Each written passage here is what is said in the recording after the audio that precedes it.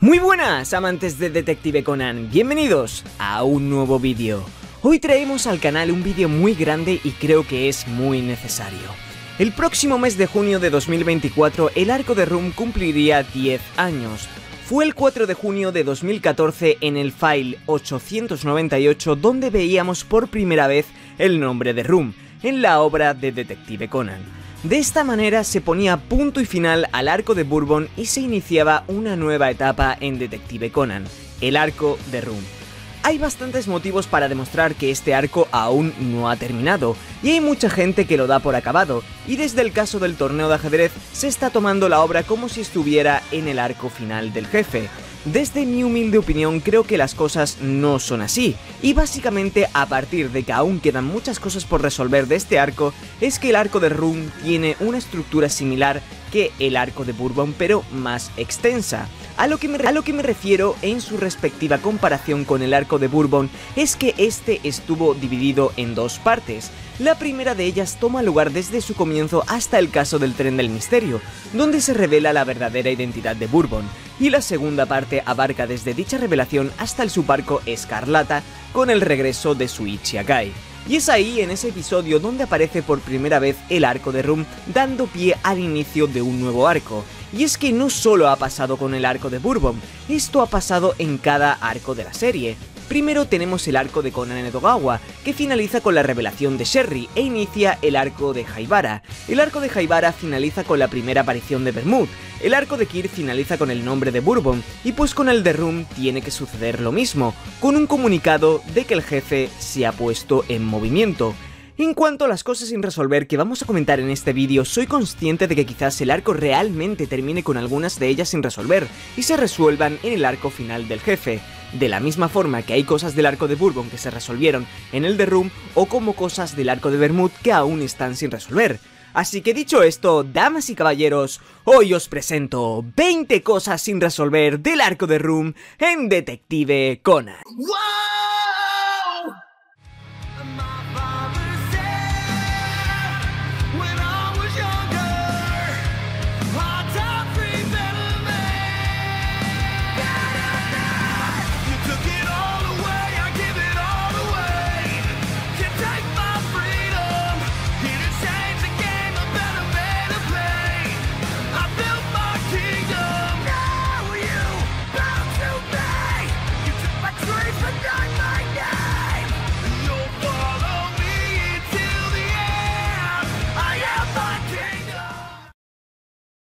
Bienvenido a Sharing for tu canal de Detective Conan en español.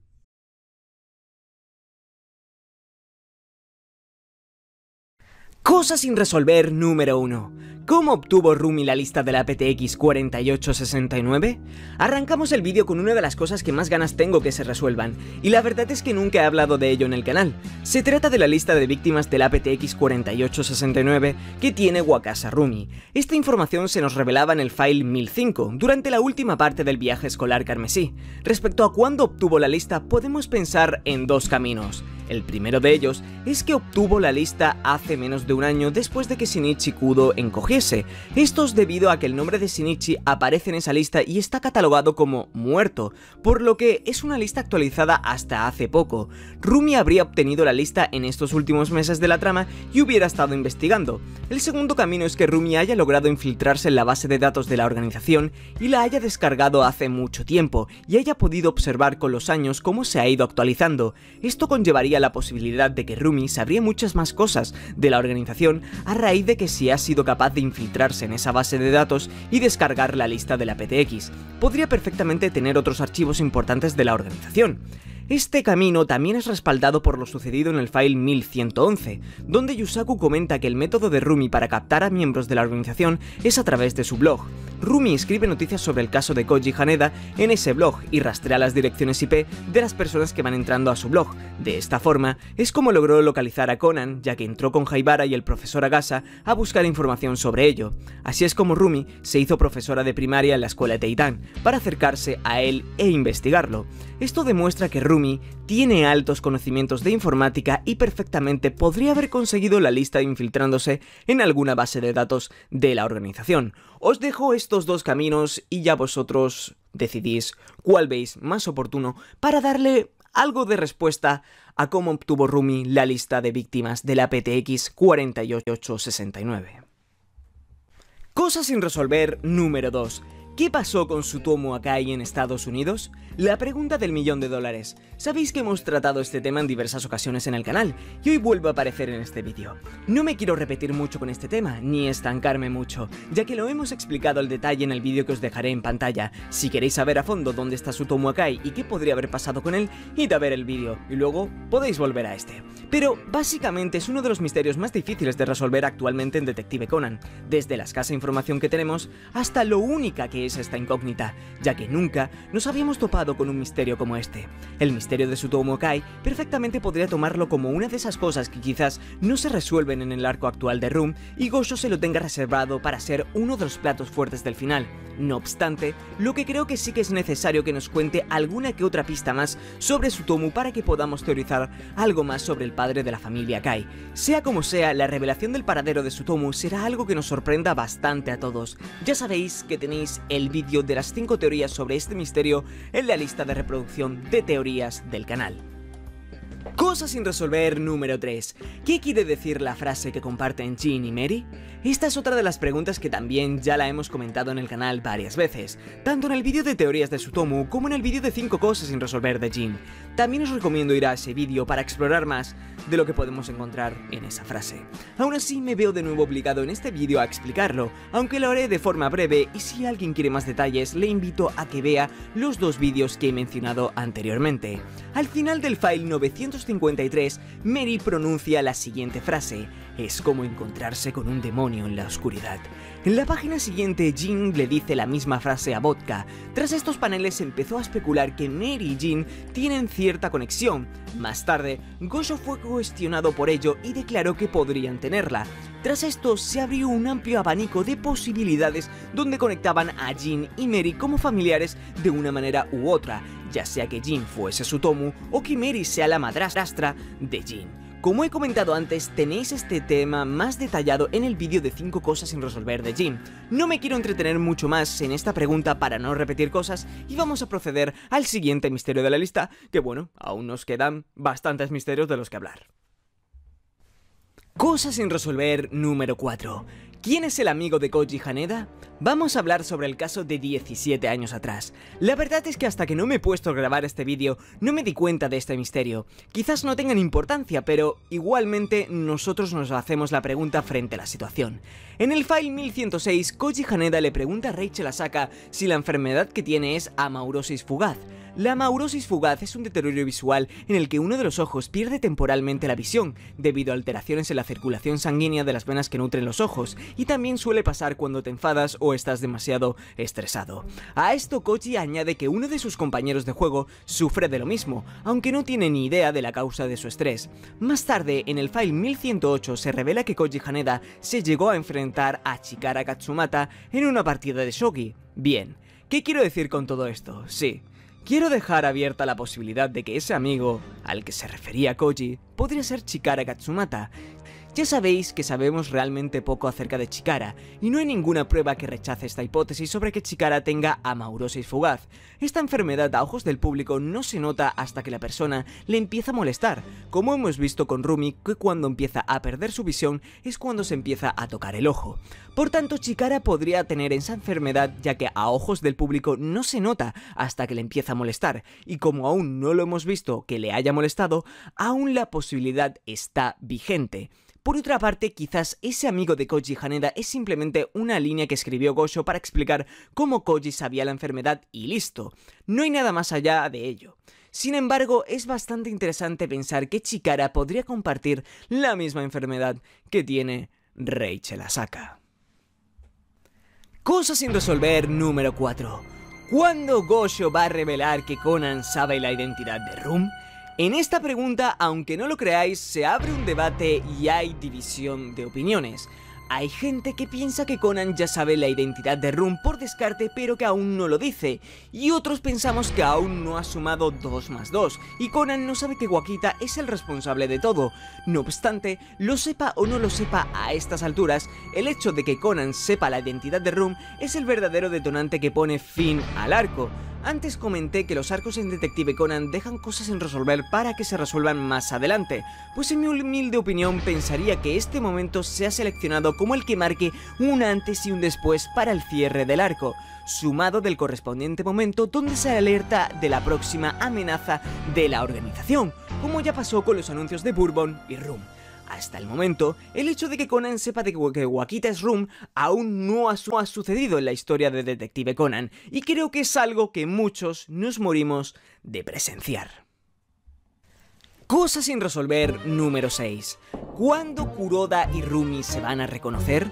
A lo largo del arco de Room hemos podido ver que el superintendente Kuroda y la señorita Rumi han coincidido en dos ocasiones, y esa es la segunda de ellas donde Kuroda quiere insistir en que se destape la verdad, pero Rumi se hace la loca y dice que si se han visto en una ocasión anterior, debe ser en el caso de la tienda de campaña en llamas, Files 987, 988 y 989. La segunda ocasión donde se encuentran es en el caso del torneo de ajedrez, y es ahí cuando Kuroda quiere intentar que Rumi hable con él sobre lo sucedido de hace 17 años atrás. Rumi es una persona muy independiente que va por su propio camino para acabar con la organización y no tiene gran prioridad de hacer aliados para vengarse de Amanda y Kochi. No obstante, queda aún por ver el momento donde Kuroda y ella tengan la conversación sobre lo que pasó en Estados Unidos y la organización hace 17 años y si decidirán colaborar juntos para acabar con los hombres de negro o no. Cosa sin resolver número 7. ¿Existe otra verdadera razón por la que Sera llama mago a Conan?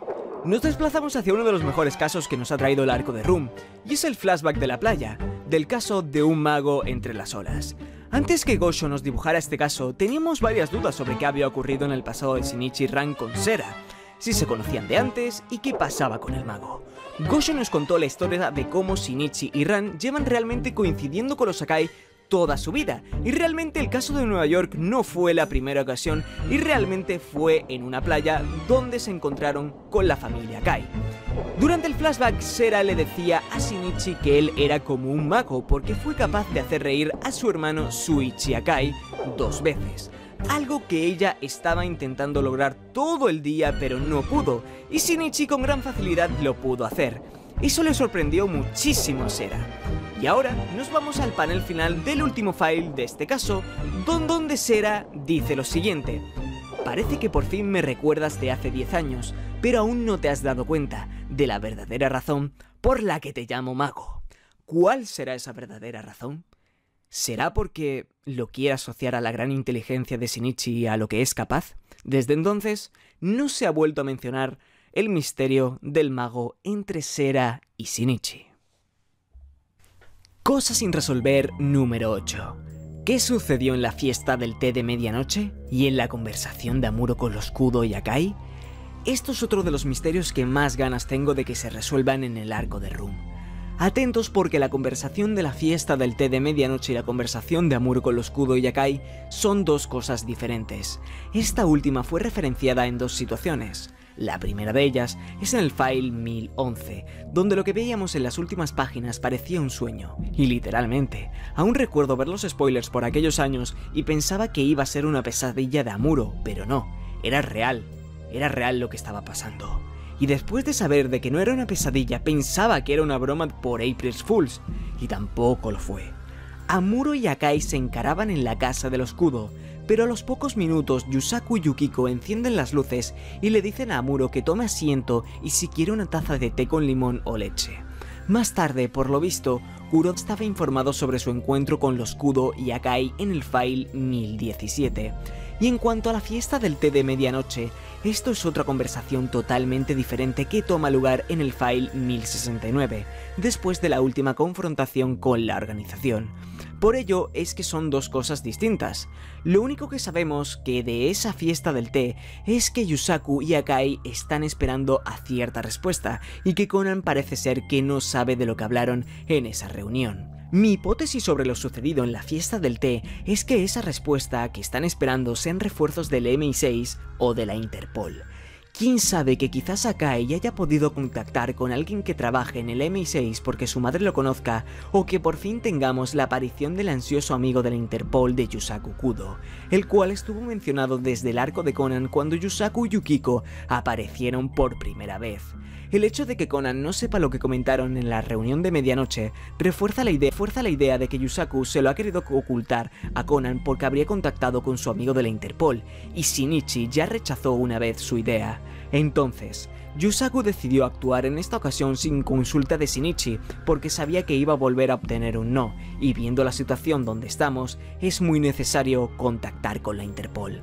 Como he ido comentando a lo largo del vídeo, muchas cosas sin resolver de los arcos en Detective Conan se resuelven en arcos posteriores. Mi hipótesis tiene otro punto y es que, si la fiesta del té de medianoche tiene relación con la Interpol, será revelada en el próximo arco o al menos la impresentación del equipo de la Interpol. Más que nada porque en cada arco de Detective Conan se ha presentado una nueva agencia de inteligencia. En el arco de Bermud tenemos al FBI, en el arco de Kir a la CIA, en el arco de Bourbon la PSB en el arco de Room el M6 y nos queda la más tocha y la más grande, la Interpol, la cual llegaría en el arco final del jefe. En, cuanto a la conversación de Amuro con los Kudo y Akai, podría ser que hablasen para contar con su ayuda y que se tomara las cosas con calma con Akai. Podría serlo perfectamente. La última cosa que me queda comentar sobre todo esto es que en una de las últimas entrevistas de Gosho Aoyama se supone que Aoyama reveló algo sobre la fiesta del té a los periodistas que hubo en esa conferencia. Sin embargo, en Japón se toma muy en serio el tema de los spoilers y nadie ha filtrado las palabras de Aoyama. Así que sí, también hay gente que sabe lo que esconde la misteriosa fiesta del té de medianoche. Cosa sin resolver número 9. ¿Cuál es el verdadero nombre de Wakita? No sé si esta pregunta se la ha hecho mucha gente o no, pero yo por mi parte sí.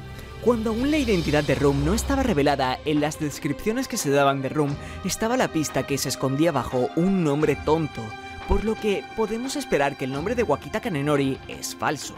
Antes del flashback del caso de hace 17 años incluso estaba la loca teoría de que Wakita fuese Renia Karasuma realmente, pero lamentablemente creo que hay razones suficientes durante ese caso para demostrar que Karasuma y Rum son dos personas distintas. La primera de ellas es la fiesta de cumpleaños de Renia Karasuma, que tomó lugar hace 67 años, donde Amanda Hughes recordaba la cara de Rum siendo un crío, y por otra parte Koji Haneda recuerda la cara de Rum hace 47 años cuando sustituyó a Renia Karasuma en una reunión política importante.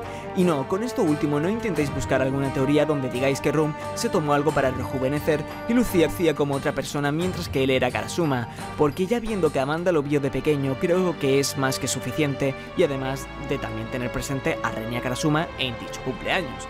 Además, es curioso como Koji, siendo alguien tan inteligente, no recordase el nombre de Wakita hace 17 años. Si Wakita tiene un nombre real, aún queda por ser revelado, ya que dudaría que alguien que tuvo relación con Reina Karasuma vaya en público con su nombre real con tan poco cuidado, aunque sabiendo con el poco cuidado que tiene Room, no me extrañaría. Y además de lo orgulloso que es que se catalogue como un nombre estúpido y tonto, no tiene mucho sentido ya que una persona así no le tendría tan poca estima a su nombre. Además, creo que también queda descartado que Rum y su padre sean de descendencia de la familia Karasuma, ya que Rum Senior le sirvió a Karasuma durante años. Dudaría que si fuese un familiar como su hermano, estuviese en ese puesto, aunque quién sabe, sabiendo cómo es Karasuma y lo amenazante que podría ser, podría haber posicionado a su padre en tal puesto, pero lo dudo bastante. Así que creo que definitivamente también descartamos que Rum sea un Karasuma. Cosa sin resolver número 10. ¿Quién contactaba con los Miyano del grupo Karasuma y extorsionó a Tsushi durante años? Nos vamos 25 años atrás, cuando la farmacéutica White Dove entró en bancarrota y los Miyano abren su propia clínica. El grupo Karasuma comenzó a ofrecerle ofertas a Tsushi Miyano, pero las rechazaba. No fue hasta seis años más tarde que Atsushi cambió de ideas y decidió aceptar la oferta de trabajo para el grupo Karasuma. Tenéis toda la historia completa de los Miyano en el vídeo que os dejaré en pantalla, el cual también pertenece a la misma sección que estamos tratando hoy.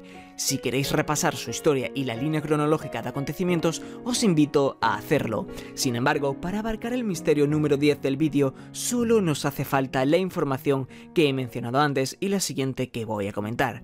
Poco sabemos de la empresa del grupo Karasuma, una empresa que digamos que era pública hace 25 años y que a día de hoy al menos parece que no existe. Creo que es evidente que un nombre importante fuera el responsable de contactar años y años con los Millano hasta que estos aceptasen la propuesta. Para aquel entonces hay una alta probabilidad de que Renya Karasuma debía estar muerto. Según la detective Senma en el episodio 219 de La Mansión del Crepúsculo, hace 20 años Karasuma ya estaba muerto, pero hace 40 años seguía vivo cuando empezó a contratar a los arqueólogos en busca del tesoro de su mansión, por lo que Karasuma podría haber muerto entre 40 y 20 años atrás, y como el contacto con Atsushi tomó lugar hace 25 años, hay una posibilidad de que haya sido él quien se pusiera en contacto. Sin embargo, creo que esa posibilidad es poco probable, debido a que en el intervalo entre 47 y 40 años atrás, Karasuma ya estaba muy muy enfermo. La primera fecha es mencionada por Koji Haneda durante el flashback del caso de hace 17 años atrás, así que es probable que Karasuma haya aguantado 15 años más como mínimo. Si esta opción fuera cierta, dentro de lo posible da lugar a un escenario donde él comienza a contactar con ellos hasta que fallece, como mucho tiempo hasta hace 20 años, y luego otra persona sigue hasta que los Millano acepten. Esa otra persona que se me ocurre es Rum.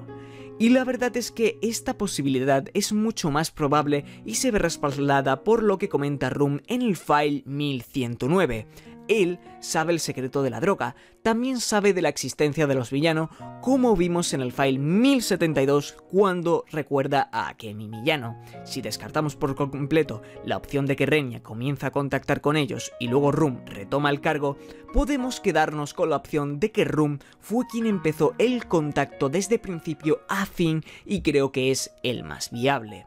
Para cerrar este tema, creo que esto podría ser revelado el día en que nos, nos cuenten la verdad sobre la muerte de los Millano o cuando Jaibara termine de escuchar las cintas de su madre. Ya sabéis que aún quedan grabaciones por ser escuchadas y durante las narraciones de esas grabaciones podríamos escuchar a Elena comentar cómo empezó el desarrollo de la droga, ya que la última grabación que escuchó Jaibara fue donde Elena comienza a mencionar una droga llamada Silver Bullet y es justo ahí cuando termina. El tema de las cintas lo tenéis completo explicado en el vídeo que os mencioné antes de los Millano, por si queréis indagar un poquito más. Dicho esto, sigamos con el vídeo. Cosas sin resolver número 11. ¿Qué hizo Scotch para que lo pillaran en la organización? ¿Y qué pasó con su cuerpo? La trama de Scotch fue una de las primeras cosas que fueron expuestas al inicio del arco de Room, y la verdad es que ha sido uno de los mejores momentos que nos ha dejado el arco. Aunque creo que para Muro, antes que uno de sus mejores momentos, em, es uno de sus peores traumas. En fin, todos sabemos cómo muere Scotch y cuáles fueron sus últimas palabras dedicadas a su amigo Furuya, las cuales fueron las siguientes. Lo siento Furuya, mi identidad secreta ha sido descubierta a través de esas personas. Parece ser que la única ruta de escape que queda en este mundo es la de decir adiós. Adiós, Rey. Adiós. Cero. Vale, su identidad fue descubierta, pero la pregunta es, ¿qué hizo? ¿O qué ocurrió para que la organización lo descubriese? Lo único respecto a esta situación es que lo han intentado relacionar con otro personaje, y es el de Yorimuga. Sabemos que Yorimuga también fue agente de la PSB, y parte del fandom ha teorizado sobre la conjetura de que Yorimuga podría haber sido un miembro de la organización en el pasado y fuera el responsable de que la verdadera identidad de Scotch fuese revelada por error. Para verificar la posibilidad de que Yorimuga podría o no podría haber pertenecido a la organización de los hombres de negro, hay que tener en cuenta las siguientes fechas. La primera de ellas es hace cuatro años, Scotch conoce a Sera y le enseña a tocar unas notas. Hace tres años, Yorimuga comienza a trabajar para la familia Oka, y hace dos años, Suichi Akai es capturado por la organización y saben que es un agente del FBI infiltrado. Como no hay una fecha exacta para la muerte de Scotch, podemos deducir que fue aproximadamente hace tres años, ya que si hace cuatro años Scotch aún estaba con Akai y Amuro en la organización, y hace dos años Akai es capturado por la organización, nos queda el periodo entre 4 y 2 años, donde la mayor probabilidad recaería sobre 3 años. Esto coincidiría alrededor de las fechas donde Muga comienza a trabajar para los Oka. Sin embargo, no creo que sería ningún obstáculo para que estuviera trabajando de infiltrado en la organización, aunque desconocemos a día de hoy si lo sigue estando ya que tres años es un tiempo relativamente corto en términos de Detective Conan y para salir de ella digamos que no es nada fácil. Dicho esto, creo que podemos dar por buena la posibilidad de que Yori pueda haber estado o siga estando en la organización. Ahora bien, ¿qué pasa con su cuerpo? Hay otra teoría que conecta a Yorimuga con Scotch para explicar qué pasó con su cuerpo, y es aquella que se basa en que Scotch sobrevivió y actualmente es Yorimuga. Personalmente no soy partidario de esta teoría, a pesar de que ambos sean agentes de la PSB y comenzaran su nueva vida hace tres años. Primero, más que nada por las palabras de Gosho, donde confirmó que Scotch está más muerto que mis ganas de vivir, y segundo, porque rompería toda la magia de Wild Police Story. Luego volveremos a hablar de Hiro y, y a ver qué decimos. Pero vamos con el misterio número 12. Cosa sin resolver número 12. ¿Cuándo reconocerá Sato a Amuro? Quizás esto es algo que no nos llame mucho la atención, pero sigue ahí pendiente. En el file 1081, Sato insiste en que ya se ha encontrado con Amuro antes, pero este le dice que no. Sato intenta recordar a Amuro como uno de los chicos que estaban en la academia de policía. Es evidente que Amuro no le puede revelar a la ligera que no se llama realmente Amuro debido que es un agente secreto de la PSP y está en una misión de infiltrado. Amuro todo esto lo está llevando con mucho cuidado y por ello no quiere arriesgarse, a pesar de que Sato sea una detective y agente de la ley, y además de que pueda hablar con ella sobre Matsuda y compañía para poder recordar viejos y bonitos momentos. Solo es cuestión de tiempo que nos llegue el momento en que Sato y Amuro lleguen a un acuerdo para saber de la situación actual de Rei Furuya. Esto quizás podría abrir la puerta a la posibilidad de que Sato conozca la existencia de la organización y estemos poco a poco reuniendo piezas del puzzle para el clímax del arco final. Pero como comento, solo es cuestión de tiempo que esta conversación entre Amuro y Sato llegue en un futuro. Cosa sin resolver número 13. ¿Cuándo se reencontrará la familia Kai al completo? Creo que esta es otra cosa pendiente que tomará lugar con más probabilidad en el arco final del jefe. Aún así, no deja de ser una cosa que ha tenido un desarrollo muy importante en el arco de Room. Ya sabéis lo criticado que está siendo este arco, pero la verdad es que si tenemos que hablar sobre sus cosas buenas, el desarrollo de la familia Kai ha sido de lo mejor, desde el flashback del caso de un mago entre las olas hasta las pistas de Mary y descubrir que es un agente del MI6. Akai ya dijo que no le dice a su hermana Sera de que él es Subaru y está ahí todo el rato porque no la quiere meter en todo esto y lo peor de todo es que no sabe de que ella está con su madre con el mismo tema aunque concretamente lo que ellas dos buscan es robarle el antídoto a Conan y Haibara. Por la parte de Shukichi, es interesante pensar que es de las pocas personas que sabe de que su hermano Suichi sigue vivo, y también abre la posibilidad de que Shukichi sepa de la existencia de la organización, aunque Gosho aún no nos ha dado ninguna pista sobre ello. En conclusión, la familia Kai les hace falta mucha comunicación y si tanto el bando de Shuichi y Shukichi se pusieran de acuerdo para hablar con el bando de Mei y Masumi, creo que avanzaríamos mucho en la búsqueda de los hombres de negro y su misteriosa organización.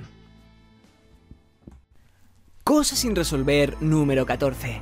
¿Cómo Room perdió su ojo?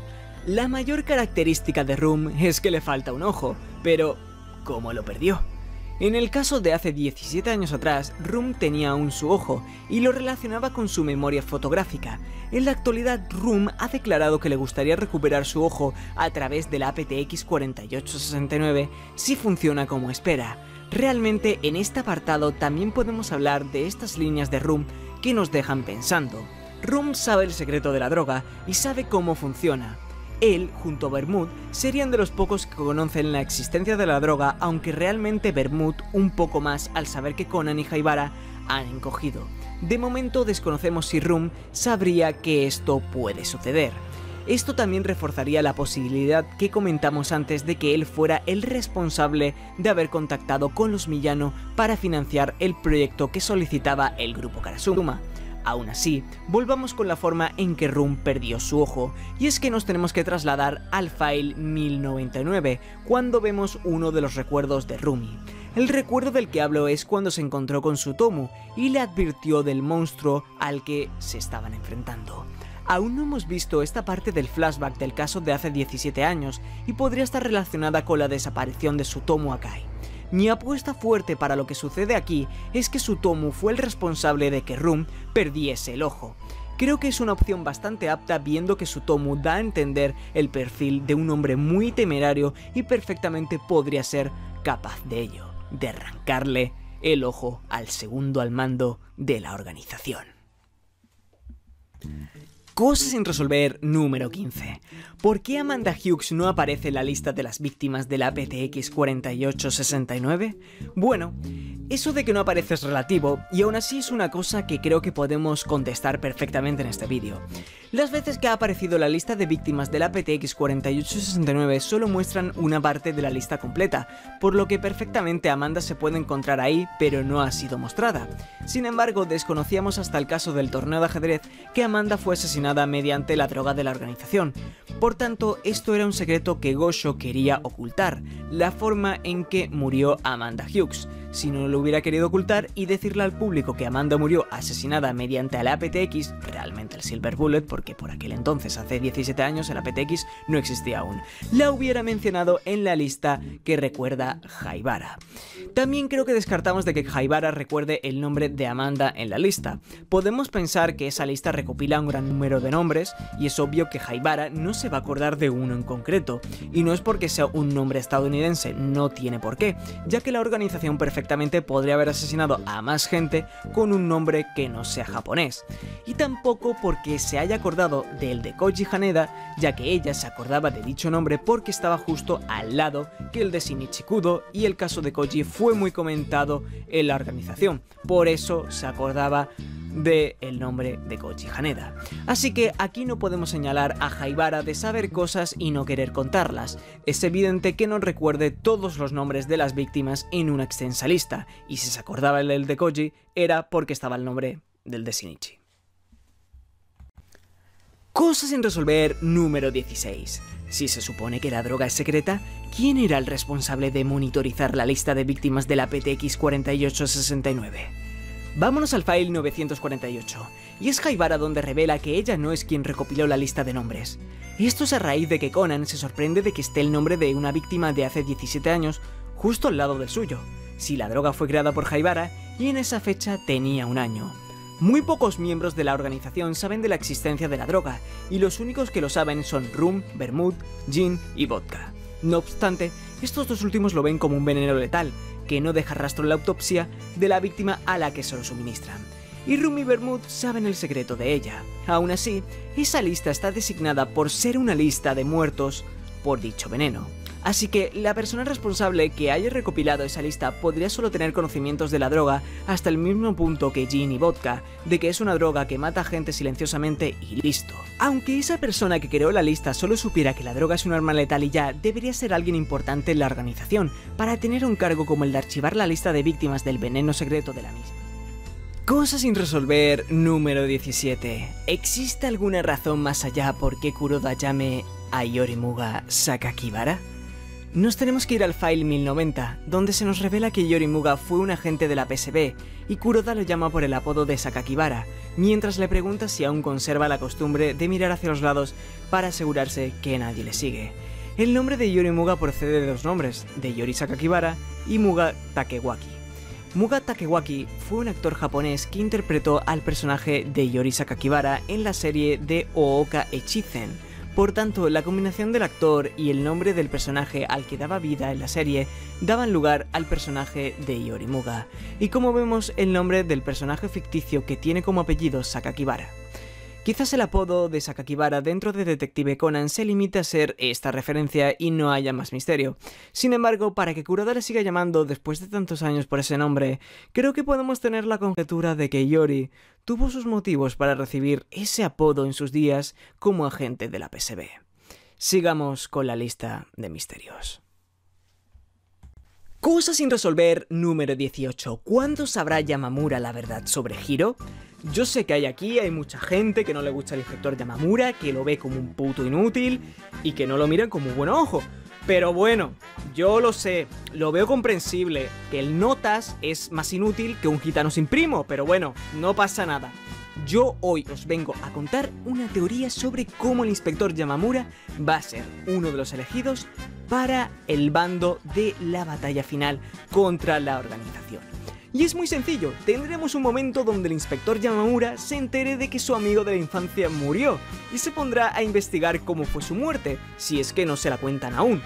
Por ejemplo, que el inspector Kumei se lo cuente y este sepa de la existencia de la organización. De esta forma, Yamamura querrá hacer todo lo posible para que se haga justicia sobre la organización, a aquellos asesinos que obligaron a su amigo verse envuelto en una misión de infiltrado muy peligrosa. Sinceramente, si esto ocurre de esta forma no lo veo venir hasta parte del arco final del jefe, cuando se esté alineando el bando final poco a poco. Y además, si es Kumei quien se lo comunica a Yamamura, Gosho nos tendría que hacer saber que Kumei sabe de la existencia de la organización. De todos modos, creo que esto podría ocurrir en un clímax donde la existencia de la organización es algo más pública y casi todos los personajes del elenco de Detective Conan saben de la organización. Otra vía que se me ocurre es que Yamamura coincida en un caso con Amuro y sepa que él y Hiro se conocieron y Amuro le diga indirectamente que ya no se encuentra con nosotros.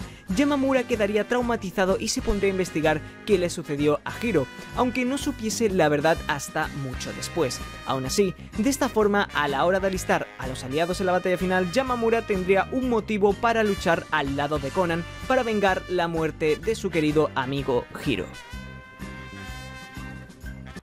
Cosa sin resolver número 19. ¿Cuándo se reencontrará Wakita con Kuroda y Rumi cara a cara? Ni Kuroda ni Rumi han tenido la oportunidad de verse las caras con Wakita aún. Sin embargo, Wakita sí que ha estado observando a Rumi de lejos en varias ocasiones. Pero los encuentros de Wakita con Kuroda y Rumi se encuentran aún a la espera. No sé si Gosho está esperando a que tengamos la confrontación final de la segunda parte del arco de Rum para ver estos momentazos, y sería genial de ver un cara a cara entre Rumi y Wakita sin disfraz o un Kuroda frente a Wakita sospechando intensamente y acorralándole. Los encuentros de Wakita con Rumi y Kuroda quedan aún a la espera en esta segunda parte del arco de Rum. Cosa sin resolver número 20. ¿Quiénes son los viejos y el chofer misteriosos? Terminamos el vídeo con el gran misterio actual que está en boca de todos. El viejo del respirador, el viejo del halcón y el chofer con gafas. Estos personajes misteriosos han realizado su aparición bastante lejos después de que se revelara la verdadera identidad de Room y muchos no tienen en cuenta que no deja de ser un misterio abierto del arco de Room. Tenemos las respectivas pistas para cada uno de estos personajes y sus profundos simbolismos, como que el viejo del halcón odia con Anedogawa o que el viejo del respirador odia a la policía. En cuanto al chofer misterioso, ya sabéis que es el único personaje del canon en Detective Conan que ha obtenido su keyhole antes de revelar su nombre.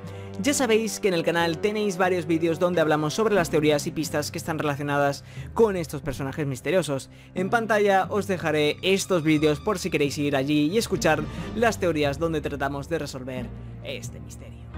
Y bueno chicos, creo que vamos cerrando este vídeo por aquí, donde hemos recopilado todo lo que queda por resolver del arco de Room hasta la fecha de 2023.